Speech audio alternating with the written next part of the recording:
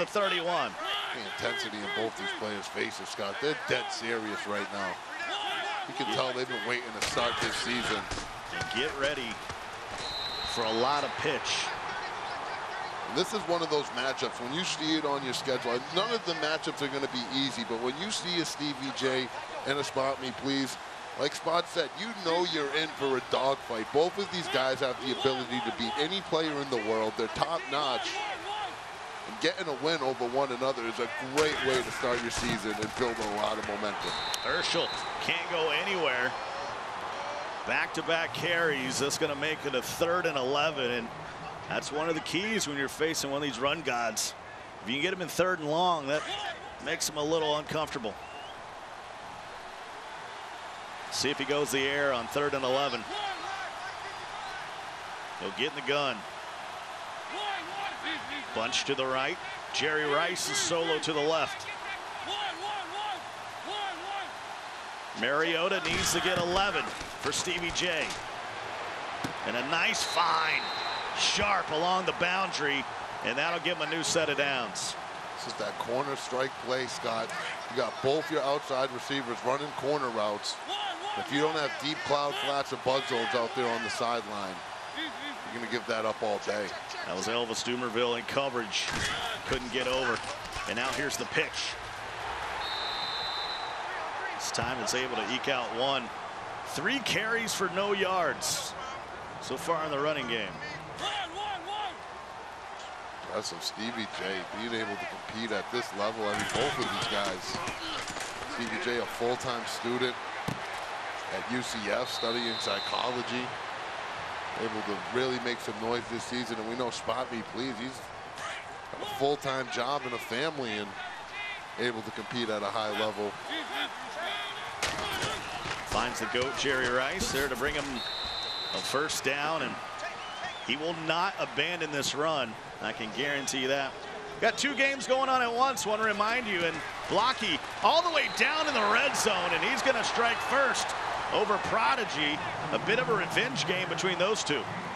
Yeah, when you say that, it's really because Prodigy beat Blocky in the online elimination of the Madden Challenge in a win and get in game. So Prodigy went on to make the final four in the Madden Challenge.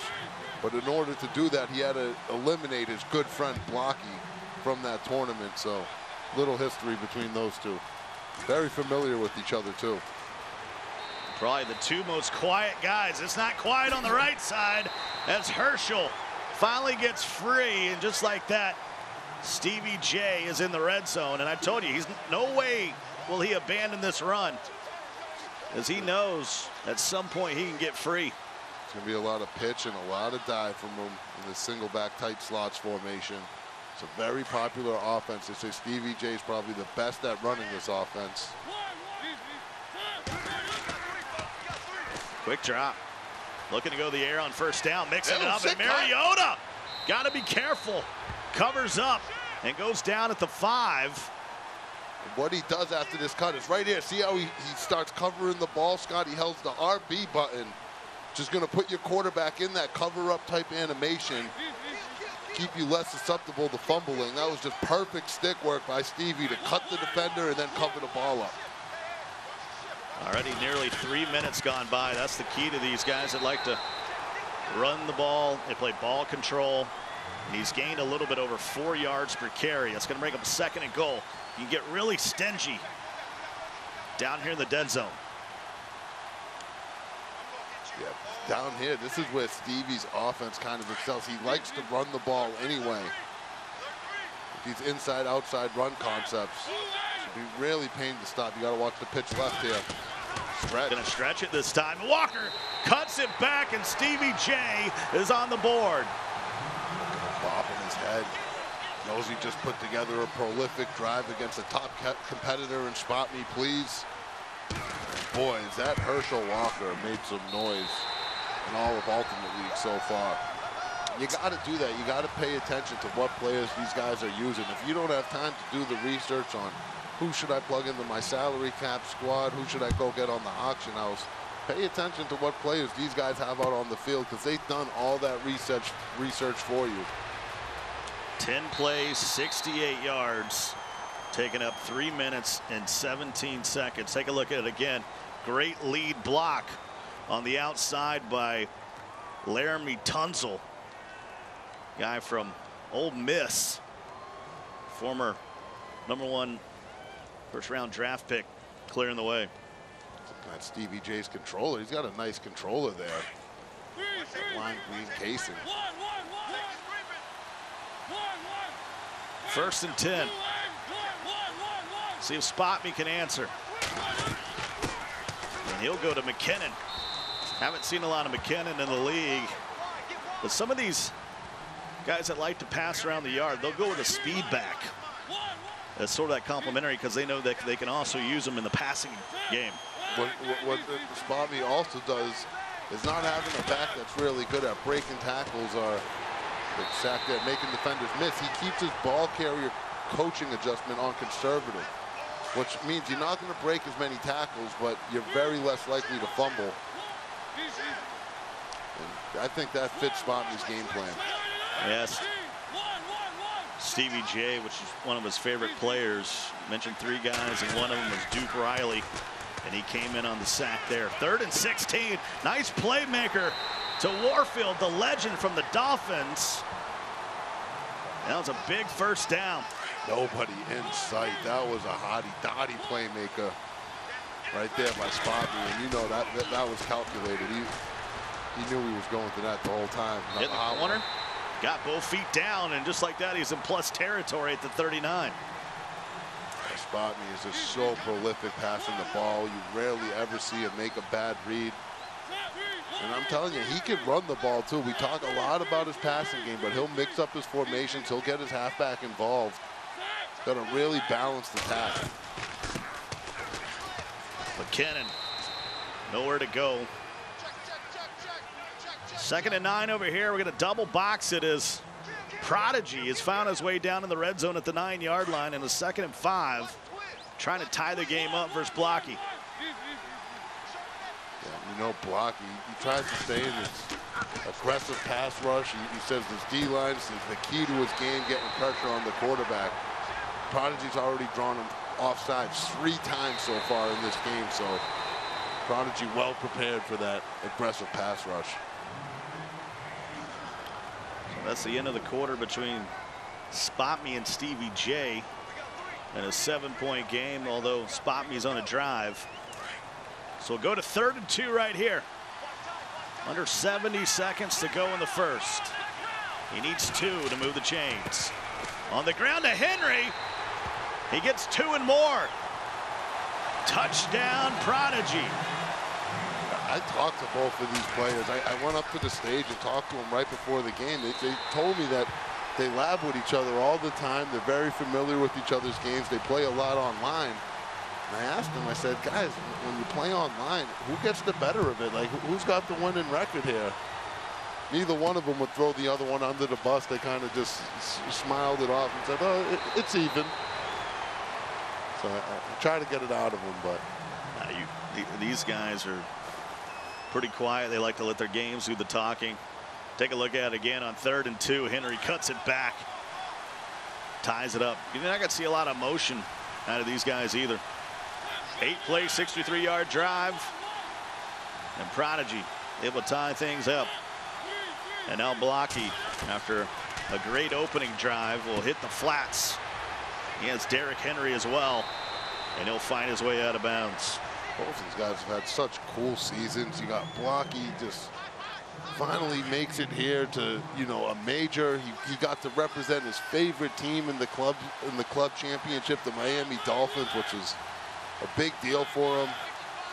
Became a member of Top Madden, then Prodigy in his first year competing, made the Madden Challenge, made a Final Four run there. Finds himself in Ultimate League on a on the Team Noble esports organization. Good first year for both of these guys. Prodigy three and one in live events for the 19-year-old rookie. Lives just up the road in Fontana, California, not too far from her Ultimate League studios. Be careful with the strip animation. We'll get to the 34. The other side, Start of the second quarter be second and six for Blocky. And a 7-7 ball game in the opener of the Ultimate League here in the Elite Conference. And on the bottom, spot me please, although he's on a drive, trails by seven to Stevie J.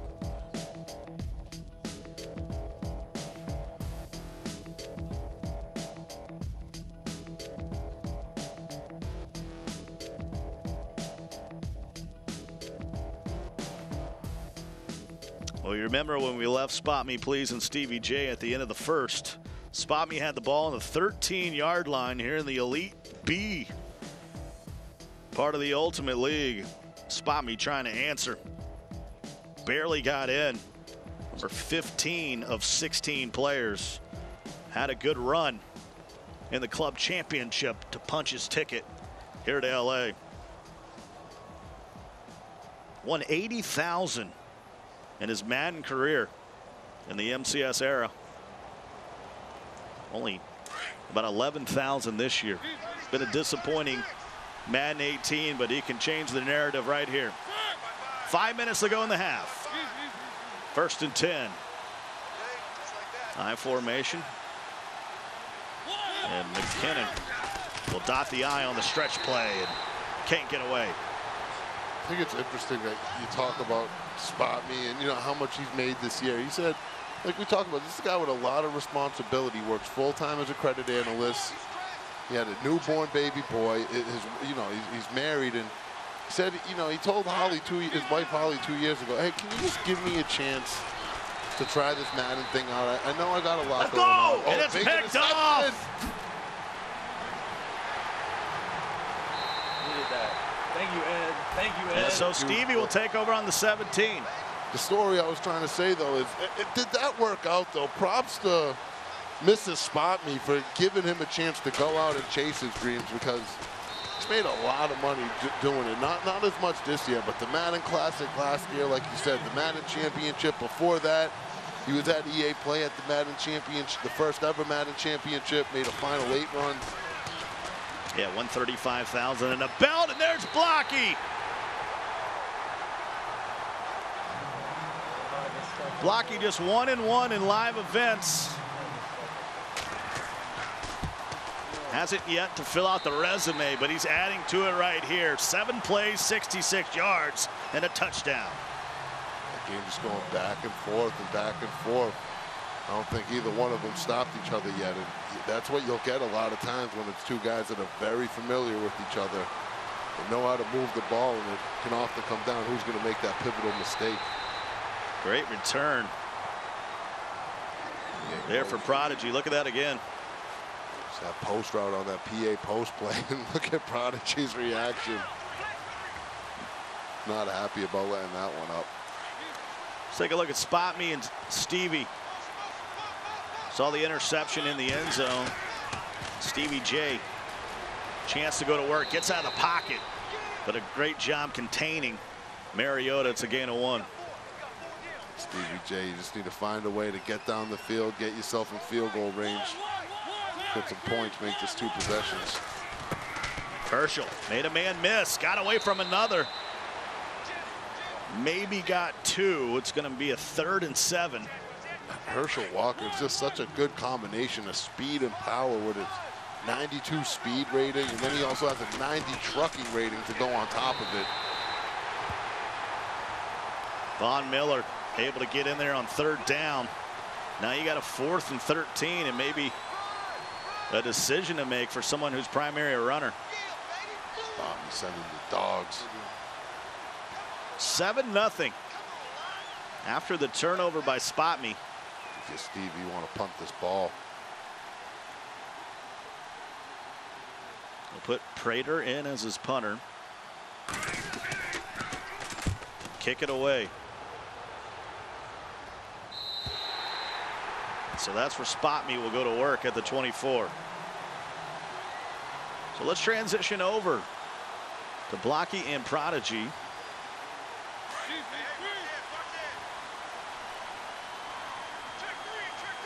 It's a 14 to 7 game. With three minutes left.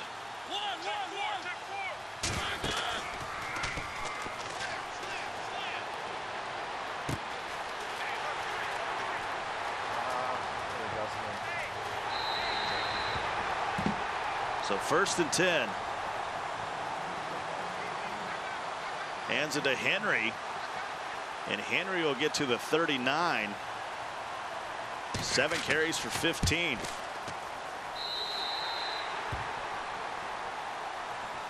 Ah, can't let that out. Here at the two minute warning. Seven point game. Really a back and forth. A, a, a stop or a turnover in this one would be huge.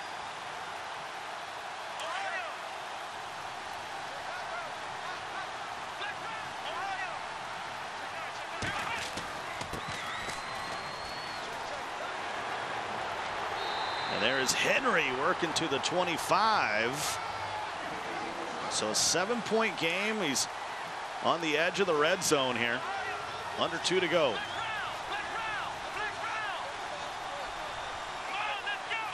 Two guys to the left, Ingram to the right. Gets out of the pistol. He's now up under center. Hands it off to Henry, and he goes nowhere. He'll drop him for a loss to two. Let's get a game update.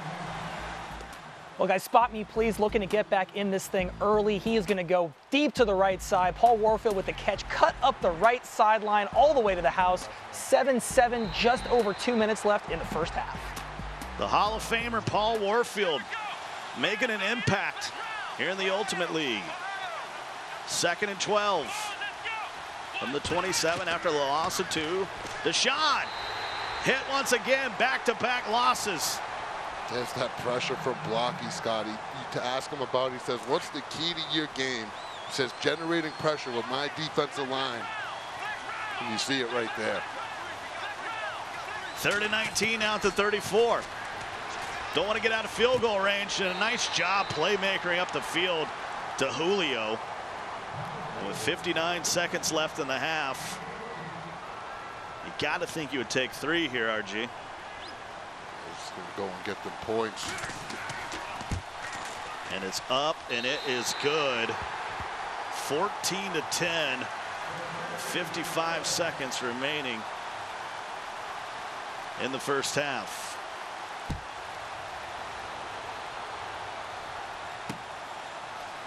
Twenty-two, and he just covers up with with Walker.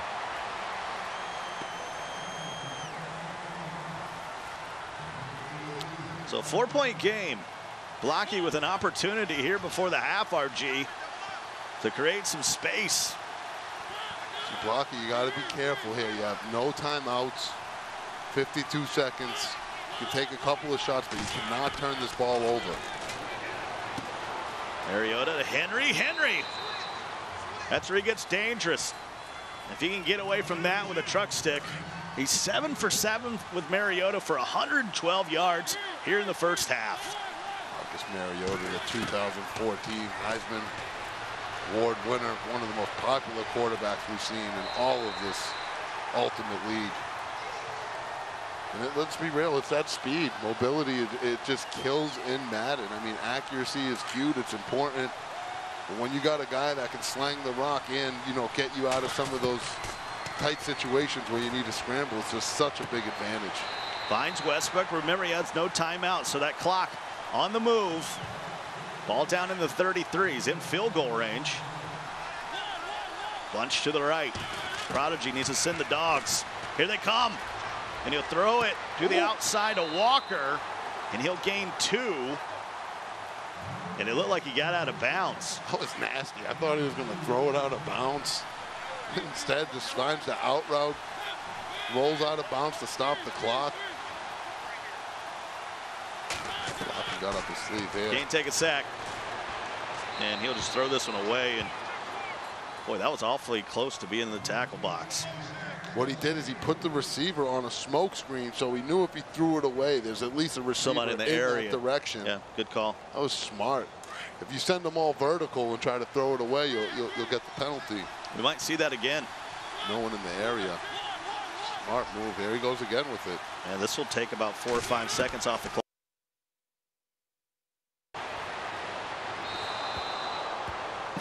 Up the seam. With no timeouts. I mean, if, the, if he had a Had timeout, to be a touchdown, yeah. that's a smart move. I've never seen somebody kill clock like that before. That that was really interesting. That was strategic scum right there by Blocky, and I like it. 48 yarder before the half, and it is good. Perfect. So he keeps it at a touchdown lead between Blocky and Prodigy. And over on the other side in the waning seconds of the second half in a 7-7 game, Spot Me's got a third and one at the 41. Trips tied in.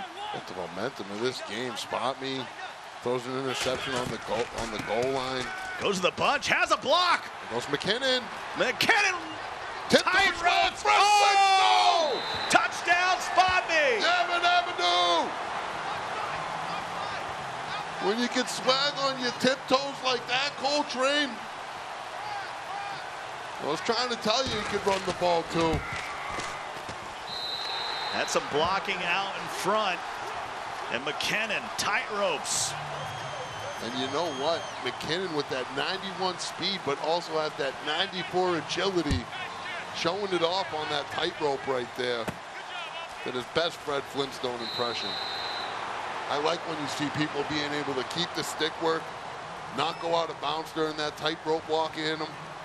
Look see the this. block. Look at Julio crush Jeez. Wilson. And right here, Agasa! And that was just Renfro trying to come over with a hit stick. Able to slip away. Three timeouts left for Stevie. He's given up 14 unanswered. Trying to talk about it. That's rough. You get the pick on the goal line. You're up 7 nothing, going to make it two possessions. We do a game break and come back, and now Spot me's up 7. Out of bounds at the 50.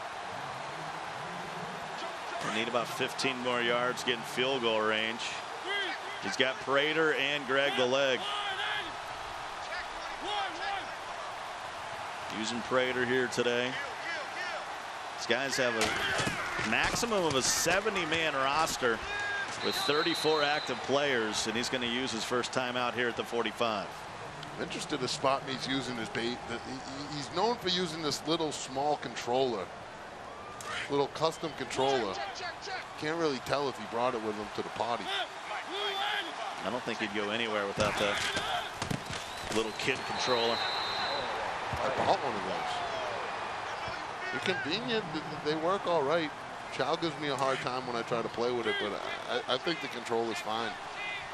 Third and five. Got inspired by Spot and try to. Hey, when you got a belt, I don't care what you're playing with. You got the respect already. They can't take that away from you. Third and five. Low throw and Jerry Rice. The ball was behind him, but the GOAT pulls it in. Only has one timeout. This Stevie's controller, I told you. He's got a nice controller, too.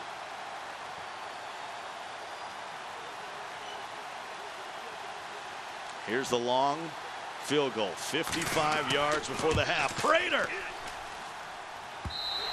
And it is up and it is good. 14 to 10 at the half. So a good first half all the way around in both our sets of games.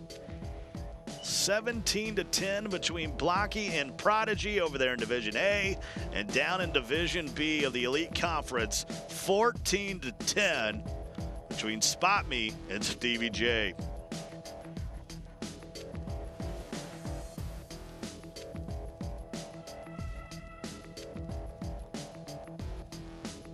Start of the third, 14 to 10 between Spot Me and Stevie J the toughest division, hands down, in the Ultimate League is this Elite Division B. Yeah, that division's insane. Got three belts between Skimbo and Spot Me. You throw a young Kevin Stevie J into the mix. Woo! Remember, Kiv's already on top of the division. He's 1 0. After that Disney game of the week matchup where he beat Skimbo. Yeah, that was the division when these were, we saw all the different Ultimate League divisions of both the Legend and Elite Conference. That was the one where everybody kind of had their eye on it. it like, oh, that looks like a tough one. So Spot Me will get it first to start the second half. Mariota had all day throw the football. Playmakers him up and finds Warfield. The man with a gold jacket all the way down to the 36. How big has Warfield been in the league? Nasty right there. I thought he was going to throw the deep corner route to B. Instead, just playmakers Warfield. Think a member of those 72 Dolphins. Undefeated. Only team to ever go undefeated. Sorry, RG. 18 and 1, huh? One giant loss. it was a, it was. It was a giant loss indeed. Down to the 28. Second and two. Was that the year they had Moss? Moss on that squad? Of course. That was unreal. Only time Brady had a really a re receiver worth worth talking about. You could throw Gronk in there, of course, but he's a tight end. Down the 26 now. It's a fresh set of downs here on the opening drive for Spot Me. Oh, Taylor Robinson, man, when he came on the scene. Great story. Made it to the final eight there in Madden 16. We were out there and we were here in LA, not too far. We're downtown in the Staples Center. Ended up losing a problem, I believe. Problem, fullback dived him. Still probably sees it in his nightmares. Second and 10. I think in that game, the, the, biggest mistake that Spot Me learned from, and you could tell this is it was his rookie season, first sure. time on the main stage. To try to take a knee before the half. Safety. On his own, like one or two yard line, and he needed into a safety. It was just, it was That changed the game. I mean, he was playing so good all tournament long. And it's a small mental mistake, but he said he learned from that, and you know that was his first time on the big stage. Got a little nervous. Part of our red zone coverage, double boxes. Prodigy has found his way down to the 15. So we got first and 10 on the right at the 14, third and one on the left at the 15. One score games on both sides. Do you expect anything less here in the Ultimate League? I mean, these are close and good games, but you got to remember these players are. This is early in the season. This is all these players playing their first game of a 10-game season. So, you know, the intensity is not as high as it usually is. They're still kind of, you know, feeling each other out. They're, they're feeling what roster moves they like.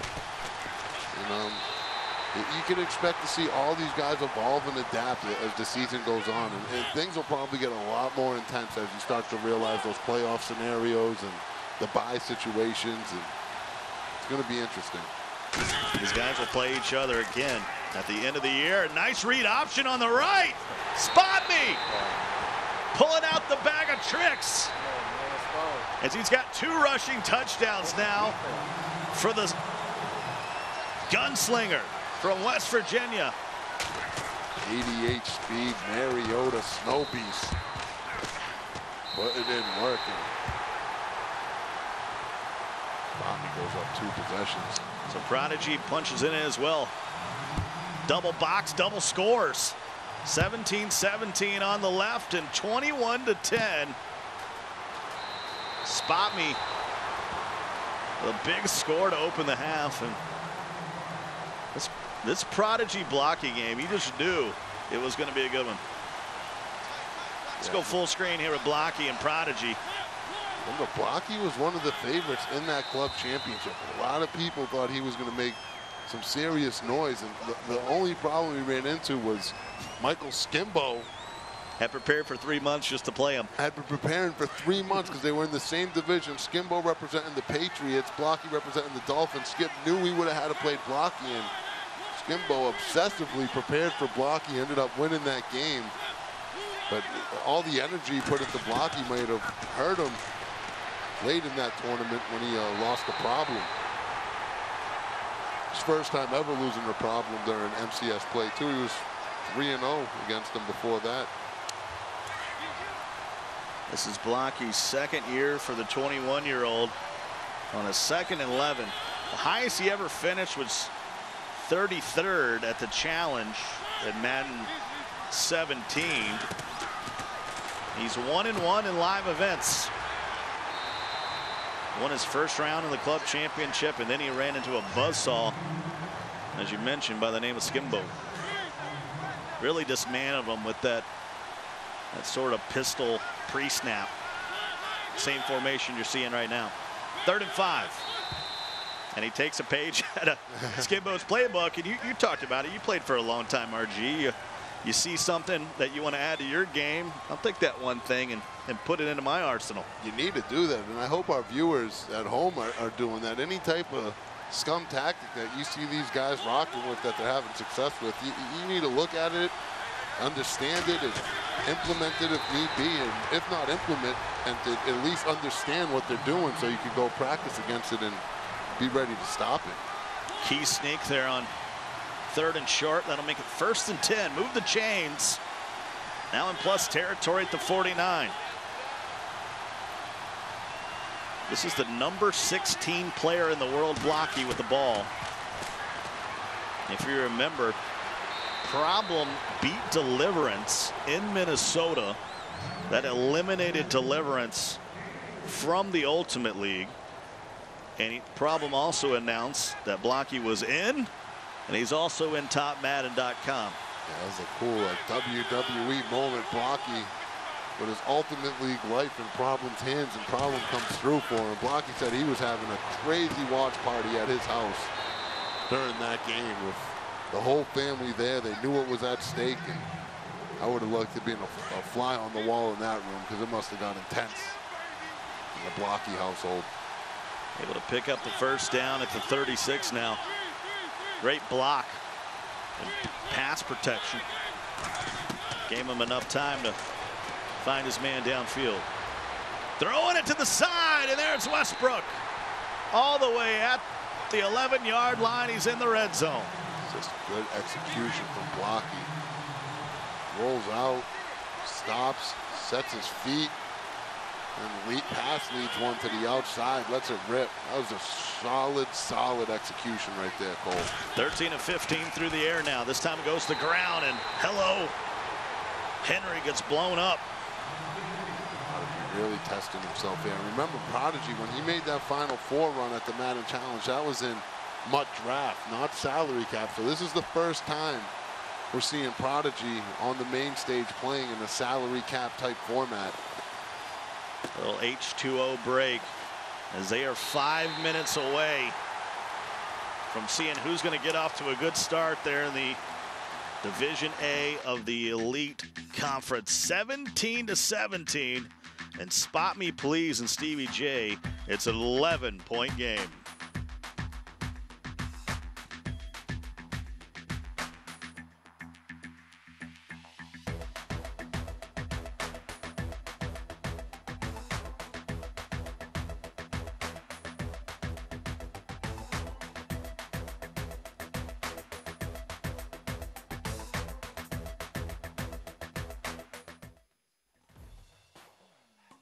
Start of the fourth quarter. Here between Blocky and Prodigy, down in the red zone at the 12 yard line. And a tie game. Five minutes left in this one. These guys know a lot about each other. They let their games do the talking. They don't do a lot of talking, not a lot of emotion. But knowing getting off to a hot start will be big. Blocky's got it at the 12. It's going to be a second and 11 after Derrick Henry got blown up, and we got red zone coverage on the right side of Stevie J trying to make this a one possession game. Herschel Walker has 23 carries for 66 yards for Stevie J on the right side of your screen. Third and 10 for Stevie J. Second and 11 on the left hand side. Henry gets to the edge. And touchdown Blocky untouched. Can Stevie J do the same? Can he find pay dirt? He's going to run with Mariota. Boom. Got to kick the three. Yeah, make this a one possession game if you're Stevie J. How about Blocky? Every time it feels like we check in on young Blocky, he's just out there executing. And he fakes it. Mariota. He's going scum! And he's in. Ew, run that back. Let me get a replay at some point. That was dirty. All the way down to a fourth and six, and he faked it. Wow. Look See at that this. replay. You asking you receive. Just couldn't get out there. Oh, that's so smart. And so often everybody wants to go for the kick block, and we talk about kicking it perfect. Another thing you can do against people that are trying to block your kick is those fake plays have a high success chance. And Stevie J just not scared to run one and reaps the benefits. That Spot me, nasty. please. We'll have a chance to answer. Oh my goodness, here comes Warfield gets loose. Can he get on his horse? Got to beat past Renfro. And he'll run out of bounds at the 31-yard line. What a return for Spot Me. That touchdown ends up being even bigger for Stevie now because if Spot Me kicks the field goal, gets with that big return, at least it's still only a one possession game. Here's the, skunk. fake. And now what that does, Scott, is if you're a competitor going up against Stevie J, you need to be aware that if you go for that field goal block, he's not scared to fake you and hit you for the big play. So that might make his opponents more scared to try to block his kicks, which could work in his benefit. Didn't chase the points. Didn't go for two. So it's a four-point game after the long return by Spot Me. He's going to have a second and three. 350 to go. Man, that that fake is like that's the type of play. If you don't get it, and you're like a real life head coach, you get yourself fired. And let me set the narrative That was to here. make it one possession. Sure. Let me set the narrative here in the Elite Conference Division B and why this game is so important. You lose this one, and you got killed and Skimbo next on your schedule. Can't afford to go 0-1 because you could find yourself 0-3. Yeah, and all the competitors in that division, they say that same thing. They say this is so tough. Each game is as important as the next, and it, it- it's scary when you know that each one of your games there is no pushover. A lot of stress going on in that division right now. First and 10 at the 13. Well, he is eating this clock. Hands it off to McKinnon. Plenty of space. Good gain. They'll mark him at the six. Second and three. And I love how Spot Me's game plan is to stay on that conservative ball carrier setting. He's so less likely to fumble. And it's good because he doesn't try to do a lot of trucking or juking. And if he does do a move, it's the steerable moves, which aren't a fake out or a broken tackle anyway. Those aren't affected by the conservative ball carrier setting. So that, that's rarely smart by Spot Me to just stay on that conservative setting, limit turnovers. And the next snap will be after the two-minute warning. Be a big third and three coming up from the six-yard line between Spot Me and Stevie J. Stevie's got to hold him to three. Good play. He'll run the play. He's fighting. Felt confident. I think he got it. He doesn't have fourth it. and inches. Wow. Now he came out like a lot of Madden players do, and he thought he was going to run it to the two-minute warning, but quick snapped. Saw the front that he liked and almost picked up the first down. You got to go right. You got to try to end the game right here. Yeah, why not? You got your opponent backed up, and here it goes. This is going to be a QB sneak situation. Can they get leverage up front? No! fullback- He does it! He gets back on his I feet! had it. No! I had it. Oh, Mariota oh fighting. man. Oh, Untouched. Oh, man. Stevie J's defender just caught up in the traffic, had and he could have just got through the hole and touched Mariota. It's his ball, and he's back in the building. Can still hold the door. Uses a timeout, 155 to go. That was wild. Oh, that was crazy. Now Spot looking to make it two possessions, and even if he doesn't get in, gets to kill more clock. You might see three sneaks here, but watch for McKinnon in the eye. Double tight end.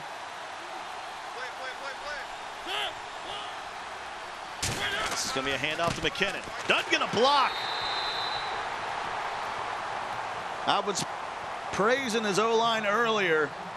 But Gerald Hawkins, just a core silver there at guard, couldn't make the block. And they tell me offensive line doesn't matter.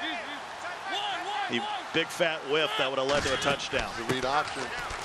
And no. Stevie getting stinged.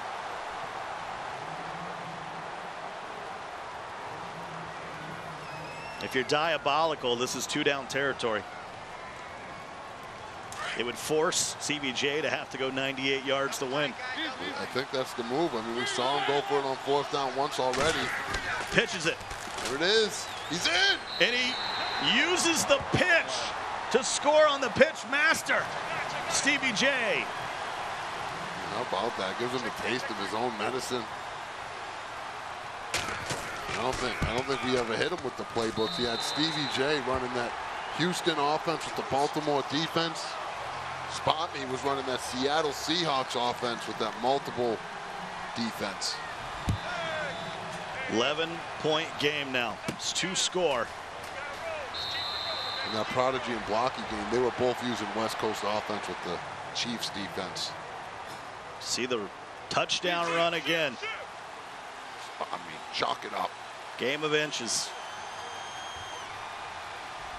Stevie's got to score quickly now. Primarily a runner. Got to open up the playbook. And Herschel Walker is had a tough day. Let's get a game update. Guys, it's been a really close back and forth matchup all game between Blocky and Prodigy. But here, under two minutes left in the fourth, on the run commit, Blocky gets into the end zone, up 34-17. Looks like he's going to take the dub. Yeah, Dave, 17 unanswered there by Blocky. Looks like he's going to lock in his first win. Second and nine here. Mariota all day. Low throw to Rice. You got to get your motor going here. He's nine for nine, but he needs more more downfield, RG. It's a good read, though, by Stevie. I, I thought the corner route was open, but Spot me ran over there to take it away. Stevie didn't force it. Mariota covers up. Remember, no timeouts. Ball at the 47. In a two-score game. Mariota, quick drop. Take off again. Gets a block. Had some room. Can't get out of bounds. I rather had two less yards and that clock stopped. Yeah, I agree. Just going to kick the field goal here. Smart play by Stevie. He's going to need an onside kick after he puts the trifecta through. It's an eight-point game, one possession, 31 seconds, and now it's time for some mad magic. The old gods or the new. And it's picked up. Spot he's going to get the dub. Good game. Man, that was. GG's all around. Spot me will move to 14 and 5 overall in live events. 75% winning. And Spot me gets the opportunity. He threw a pick early, came back with 14 unanswered to take the lead, and does a nice job on that bread drive, closing it out. The big play for Stevie in that was on that fourth and one, fourth and inches. Mariota gets stopped short, but no defender can get in and just down him. Gets back to his feet, gets the big first down, and eventually turns into spot me please points. Those are just the type of plays you need to make. You Stevie. And remember, this is a good time for us to talk about point differential, where it could come into play. You're asking, well, what is Prodigy doing right now? Well, can it come down and get seven? That might be the difference between making the playoffs or, or missing a spot. Yeah. Points matter. Yeah, points do matter. If you're if there's a, a tiebreaker at the end of the season and, and you and your opponent have, have a tied head-to-head record, and the, the next thing you go to is point differential. We haven't seen it come into play yet, but very well could be a thing here in the Ultimate League. No timeouts. Got to get to the line here. Final play of the game. Blocky's going to get the dub. Can Prodigy get the points? The answer to that is no. 17 point win for Blocky. Able to get a little bit of revenge over Prodigy, who knocked him out earlier in the year by a score of 23 to 10. Comes back in a big way, and Blocky, after that loss to Skimbo in the club championship, looked really good against Prodigy. 34 to 17. Spot me with a 28 to 20 victory over Stevie J.